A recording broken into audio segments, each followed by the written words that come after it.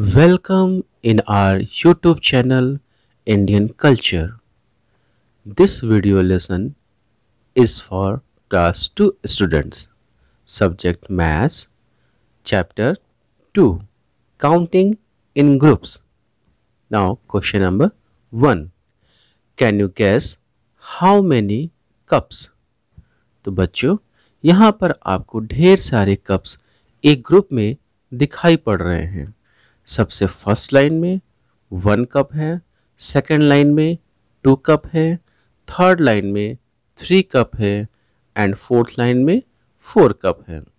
अगर हम इन सभी कप्स को ऐड करेंगे तो हमारा आंसर आएगा one plus two plus three plus four is equals to ten cups so there are ten cups now question number two can you guess how many pairs of shoes तो बच्चों, यहाँ पर देखिए three pairs है एक line में और three lines यहाँ पर शूज़ की दे रखी हैं। तो यहाँ पर आंसर होगा there are three pairs in each line so that three plus three plus three is equals to nine pairs so there are nine pairs of shoes तो यहाँ पे बच्चों हमें ग्रुप में काउंटिंग करनी है। Now question number three look at how different things are kept in groups try to guess the total number without counting each things A तो बच्चों पिक्चर ए में हमें ग्लासेस दिखाई पड़ रहे हैं जो थ्री के ग्रुप्स में हैं। तो यहाँ पर हमें टोटल फोर ग्रुप्स हैं। तो अगर हम इन्हें काउंट करेंगे तो three plus three plus three plus three four times three is equals to twelve glasses picture B में बच्चों बैंगल्स दिखाई पड़ रहे हैं। एक ग्रुप में फाइव बैंगल्स हैं और टोटल हमारे पास फाइव ग्रुप्स हैं बैंगल्स के। तो जब हम इन्हें काउंट करेंगे बच्चों तो five plus five plus five plus five plus five five times five it means it is equals to twenty five bangles now picture C यहाँ पर बच्चों ईयर दिए हुए हैं, जो टू के पेयर्स में हैं। अगर हम यहाँ पे काउंट करें तो टोटल हमारे पास one two three four five six seven eight nine ten eleven twelve twelve pairs दिए गए हैं। तो बच्चों, यहाँ पर आंसर होगा there are twelve pairs of earrings now question number four there are three groups of spoons तो बच्चों, यहाँ पर स्पून के थ्री ग्रुप्स दे रखे हैं और एक ग्रुप में एट स्पून्स हैं। तो आइए क्वेश्चंस देखते हैं। A how many in each group answer there are eight spoons in each group question B guess the total number of spoons तो बच्चों एक ग्रुप में एट स्पून है और यहाँ पर थ्री ग्रुप्स हैं it means eight plus eight plus eight is equals to twenty four spoons. Now, question number 5. Write the correct order. Number of teeth in your mouth. More than 40 or less than 40. तो बच्चों, हमारे mouth में 32 teeth होते हैं maximum so the answer is less than 40 question B number of seeds in an orange more than 50 less than 50 तो बच्चों, इसका answer आप जब भी ऑरेंज खाइएगा तो एक बार ज़रूर काउंट करने की कोशिश करिएगा कि ऑरेंज में कितने सीड्स होते हैं। मोर देन 50 और लेस देन 50 अगर यहाँ पर हम आंसर देखें तो आंसर होगा less than 50 now question C number of matchsticks in a matchbox तो बच्चों, सभी के घरों में मैच बॉक्स होंगे। तो एक बार अपने पापा मम्मी के सामने ज़रूर मैच बॉक्स में से मैच स्टिक्स निकाल करके काउंट करने का प्रयास करें। अगर यहाँ पर हम आंसर की बात करें तो मोर देन थर्टी होगा। Now question D number of pencils in your class तो बच्चों, आपके क्लास में कितने बच्चों की स्ट्रेंथ है? 40 प्लस है 45 प्लस है या 50 प्लस है? तो अगर एक बच्चे के पास टू पेंसिल्स भी हैं तो यहाँ पर आंसर होगा आ, अगर 40 बच्चों की स्ट्रेंथ है तो मोर देन 45 हो जाएगा। अगर 40 बच्चों से कम की स्ट्रेंथ है तो आंसर हो जाएगा less than 45 now question E number of spokes in one cycle wheel more than 20 और लेस देन 20 तो बच्चों आपके घर में अगर साइकिल है तो एक बार ज़रूर स्पोक्स की काउंटिंग करें। कि एक व्हील में कितनी स्पोक्स होती हैं। अगर हम यहाँ आंसर की बात करें तो आंसर होगा less than twenty. Next question, join the dots. Jojo doggy is hungry, join the dots in order from 21 to 52 and find out what is hidden for him to eat. तो बच्चों यहाँ पर जो जो डॉगी जो है, बहुत ही भूखा है। तो यहाँ पर जो नंबर्स दे रखे हैं, आपको उन नंबर्स को 21 से लेकर के 52 तक आपको ऑर्डर में ज्वाइन करने हैं और फाइंड आउट करने हैं कि जो जो डॉगी के लिए यहाँ पर कौन सी चीज़ खाने के लिए रखी है। आइए इसका हम लोग आंसर पता लगाते हैं। आंसर तो बच्चों, यहाँ पर हम लोग 21 से लेकर के 52 तक के नंबर्स को हम लोग ज्वाइन करेंगे। तो यहाँ पर हमें दिखाई पड़ रहा है जो जो डॉगी के लिए एक बोन रखी हुई है हिडन फॉर्म में। तो बोन को देख करके जो जो डॉगी जो है बहुत ही खुश हो गया और लपक करके खाने के लिए दौड़ा। Now next topic is naughty Bhuru. Bhuru has torn some pages of this book तो बच्चों, यहाँ पर भूरू पपी ने जो है एक बुक की कुछ पेजेस को फाड़ दिए हैं। आपको यहाँ पर उन बुक्स के पेजेस पर सही नंबर सही ऑर्डर में लिखने हैं। जैसा कि एक पेज पर एक नंबर लिखा दिखाई दे रहा है आपको इस पिक्चर में 48 तो इसके आगे करेक्ट ऑर्डर क्या होंगे? तो 48 के पहले भी एक पेज है तो वो नंबर हो जाएगा 47 and after 48 is 49 then 50 then 51 then 52 and then 53 तो इस प्रकार से आप जो है इन पेजेस पर करेक्ट नंबर लिख सकते हैं करेक्ट ऑर्डर में। Now puzzling tail. Chipku rat has a long tail. When he was sleeping, naughty cat thought of tying his tail to the poles. She started from the pole with the biggest number. She moved on to the smaller numbers in order. Help her in tying, but the tail should not cross itself anywhere. तो बच्चों, यहाँ पर चिपकू rat की बहुत ही लंबी tell है। तो एक दिन जब वो सो रही थी तो यहाँ पर नोटी कैट ने सोचा कि उसके टेल को इन पोल से बाँध दिया जाए। तो उसने सबसे बड़े नंबर से स्टार्ट किया। तो यहाँ पर सबसे बड़ा नंबर जो है थर्टी सेवन है।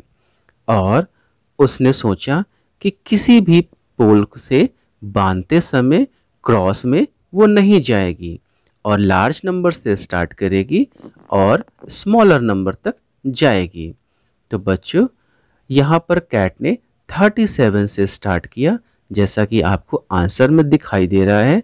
फिर 36 पर गई, फिर 35 पर गई then 34 then 33 then 32 then 31 then 30 then 29 then 28 and the last twenty seven तो बच्चों, आप भी इसी प्रकार से इसको बांधने का प्रयास करेंगे, टाई करने का प्रयास करेंगे और अपना आंसर यहाँ पर दिए गए आंसर से मैच करेंगे।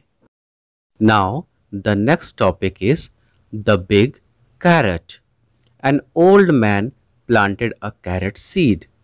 The carrot grew big and sweet. It grew very, very big. He tried to pull out the carrot, but it did not come out. तो बच्चों यहाँ पर ओल्ड मैन ने एक कैरेट सीड प्लांट किया और उसके बाद से कुछ दिनों के बाद बहुत ही बड़ा और स्वीट कैरेट ग्रो किया अब उसने उस कैरेट को निकालने का प्रयास किया बट वो निकाल नहीं पाया। Then he quickly called his wife the old man pulled the carrot leaves and the old women pulled him but they could not pulled it out the old women called her granddaughter the old man the old women and the granddaughter tried but could not pull the carrot out तो बच्चों old man ने अपनी यहाँ पर wife को बुलाया and old man ने carrot की लीव्स को पकड़ा और ओल्ड वुमेन ने ओल्ड मैन को पकड़ा, मगर फिर भी कैरेट बाहर नहीं आया।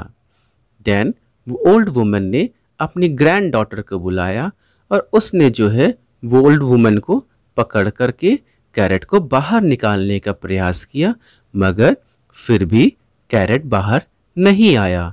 क्योंकि कैरेट जो है, बहुत ही बड़ा था। Now the granddaughter called the dog the old man his wife the granddaughter and the dog could not pull the carrot out तो बच्चों, यहाँ पर ग्रैंड डॉटर ने अपने डॉग को कॉल किया और सभी एक लाइन से कैरेट निकालने का प्रयास कर रहे थे। मगर फिर भी कैरेट बाहर नहीं निकला। Then the dog called the cat. Everyone pulled and the cat held onto the dog's tail. The carrot did not move. Then the cat called the mouse. They all pulled hard together and then the carrot came out. Zaboom! They all fell down. They were so excited. So they all went to the kitchen to make the गाजर का हलवा and eight it up तो बच्चों, यहाँ पर dog भी carat को नहीं निकाल पाया। फिर डॉग के बाद कैट आई और कैट के बाद रैट आई। जब सबने मिलकर के एक साथ पुल किया, तब जाकर के कैरेट बाहर आया और एक आवाज़ आई, जबून! और सभी धड़ाम से गिर पड़े। बट सभी बहुत ही एक्साइटेड थे। क्यों? क्योंकि कैरेट निकालने के बाद सब उसे लेकर के किचन में गए और गाजर का हलवा बनाया और सभी ने बहुत ही खुशी खुशी खाया। Now question time question nine look at the picture and write A. How many are pulling the carrot out? Answer 6. B. Who was the first one to pull it? Answer Old man. C. The cat is in the dash line. Answer fifth.